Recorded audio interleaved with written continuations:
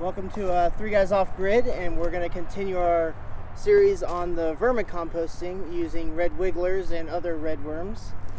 Uh, today we're going to be taking our bin that we prepped for the outdoors um, and actually putting it outdoors now that the last freeze is done. Uh, it's going to be nice and warm for the next few weeks and for the rest of the summer. So how we prepped this was we used a bunch of just like root balls and other stuff that we were just tossing and then filled it with just shredded paper and cardboard about three weeks ago. So we filled it with uh, paper and all kinds of shredded stuff and uh, prepped it, but then we had another week of freeze. And so it ended up actually just sitting out here for a couple weeks without us like actually putting worms in it. And then I noticed one day after a rain, when I was digging down, the natural earthworms have already come up and are just, mean, it's just full of worms already. They've come up and just made a home out of it because the worms like the paper, nothing else really likes to be in paper. There aren't any flies or mites or anything like that. Um, and so it's perfect. The whole point of this outdoor bed is so that we can go horizontal along this entire wall.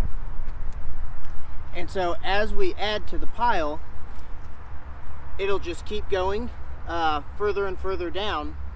And the worms eggs will be laid and they'll hatch out in a couple weeks. They eat the little bits that were left behind because the adults have moved on.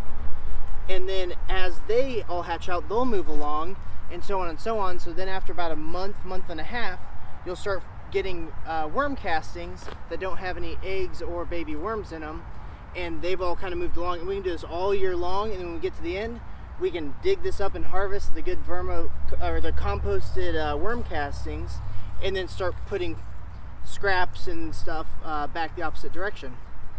And we have people every single day trying to buy worm castings from us. We i mean people sell it by like the little tiny bag and they sprinkle it on their like plants their potted plants or their garden. And it's it just supercharges uh, a bunch of nutrients and living beneficial bacteria into their soil um, instead of using fertilizer. And that's the goal, and it's a better way of composting. That worms also break down medications, antibiotics, um, all Really? kinds of chemicals. Yeah, Gosh. yeah. If you feed them, Mind blown. I don't even. I need like a little emoji, little thing that. We'll make, we'll Insert make it here. happen. yeah, yeah, they'll break down over 90% of antibiotics. So, as you guys all saw in the, the last one that we did, um, what happened in that one? yeah, so I accidentally dumped the brand new one that I was trying to keep mite free into the bin that we were going to do outdoors and then put it back in real quick right when I realized it was the wrong bucket I was dumping. And uh, it turns out I have had the indoor bin um, inside and there's no mites, uh, shockingly.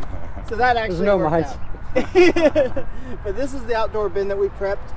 Um, I've had it inside the greenhouse and it's been about 80 degrees and remember how we put all the we put all this paper cardboard packaging and then leaves in here? It's only been a few weeks and this is what it is just full of worms and compost. I mean and, and yeah there's a banana i put in yesterday. Um, and so they're just going at it and so there's a oh yeah i put some aloe vera in this morning but so we're gonna move this into here, and we started doing all of. Uh, when I did put live material in here, like or cut plants and stuff, I started here, and then we'll add going that direction. So we're gonna start this kind of right here. So we're gonna pull all this back, and this thing got heavy from being just paper. And then I've just put down biodegradable stuff to keep the plants down.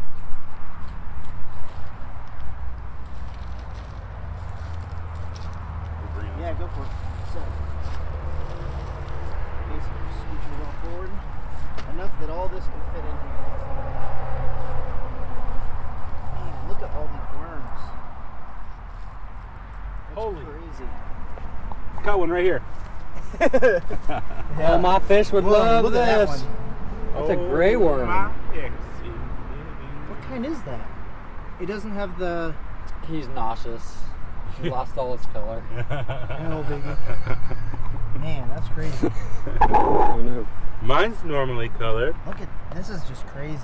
It just I'm have to take This some is of a way to to my harvest- Worms on worms right? on worms. This is a way to harvest earthworms. Just doing the paper in a pile on the ground. Hmm. And this was leaves. Um, yeah, so they've already done that just in nature. But we want the red wigglers because these worms will eat about a tenth of their body weight every day. And they just kind of go up, eat, go down, leave. They don't eat everything.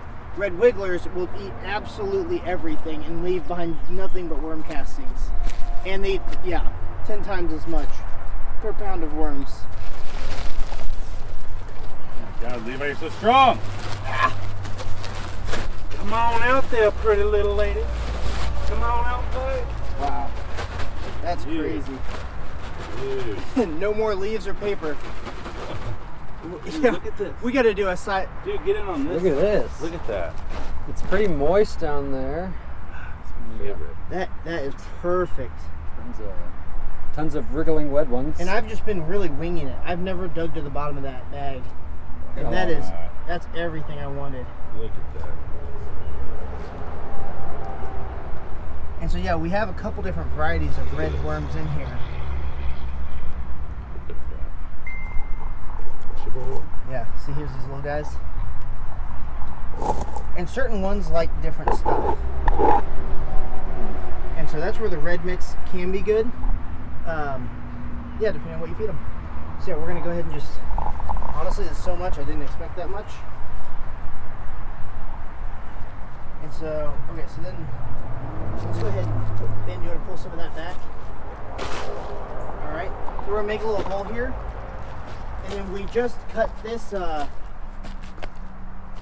these plants out of the garden. Uh, just edible leafy greens without any stems. Yeah, just throw like half of it in there. Okay, then we'll just layer it a bit so the worms can go through and then a little more.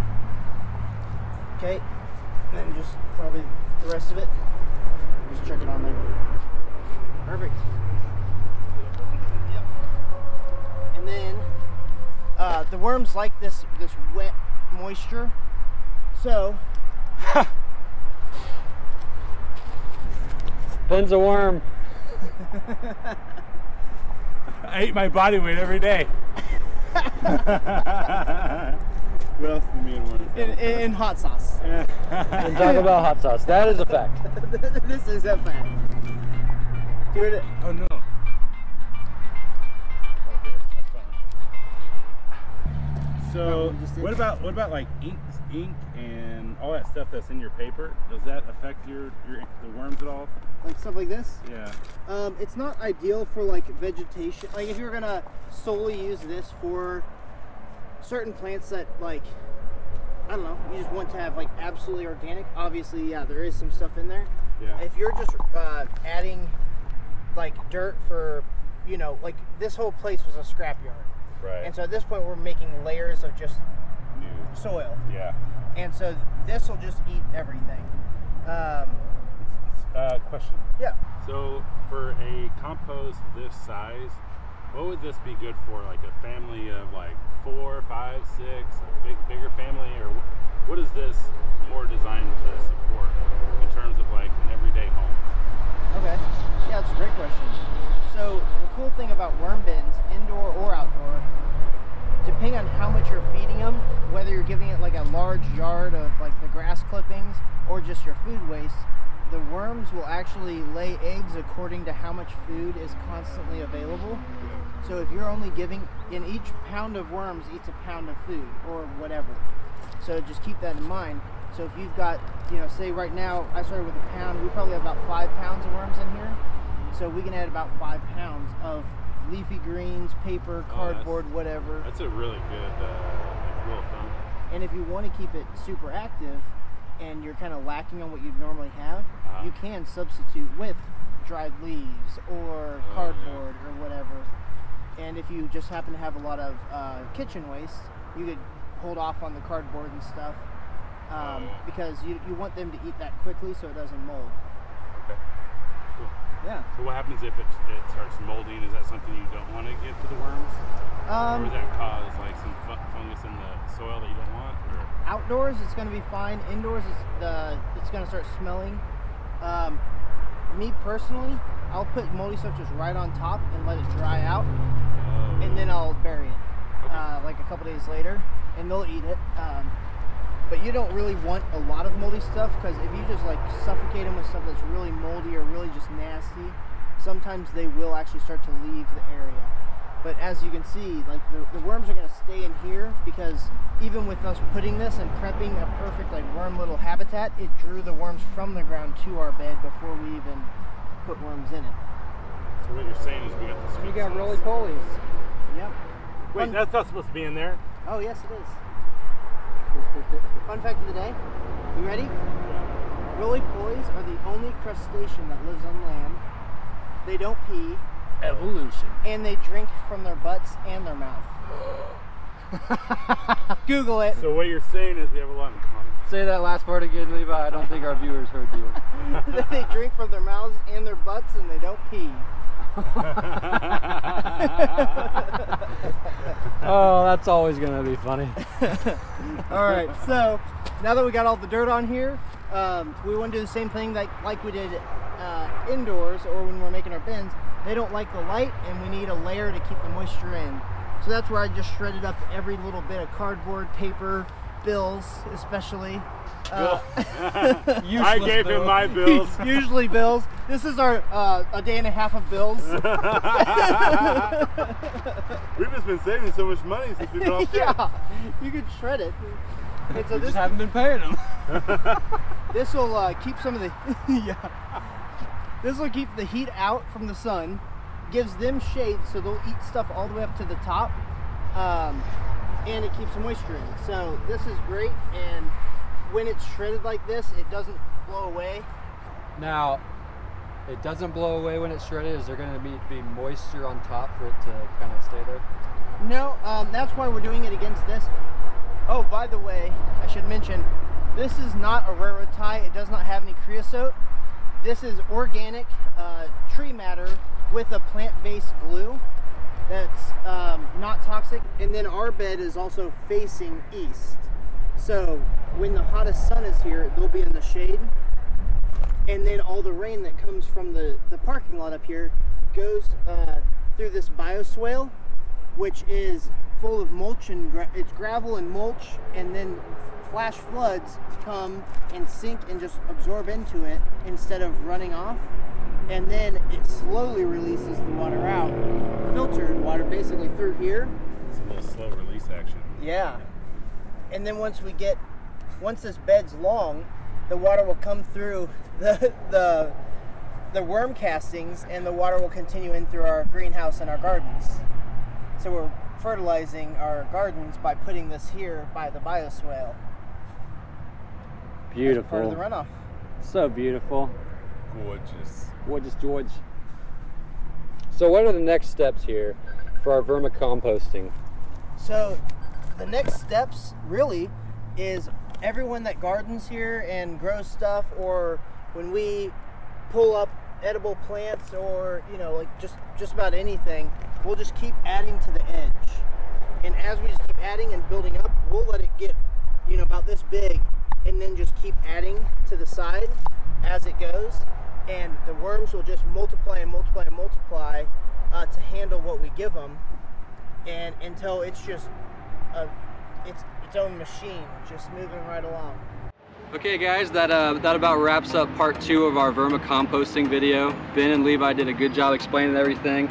Um, next time, part three and beyond, what we're gonna do is expand on this patch right here and just kind of go down the bed. That's gonna be throughout the year. So that's gonna, you're gonna need to like and subscribe and follow us throughout the year. Uh, next week, possibly the week after, what we're gonna do is a mealworm uh, setup. We're gonna start with mealworm bins, uh, everything from beetles to larvae to pupa to the mealworm. We're gonna talk about their stages. We're gonna show you everything, and then we might even have some fun with them and feed them to some fish. Make sure you guys give us a like and subscribe and stay tuned. All right, see ya.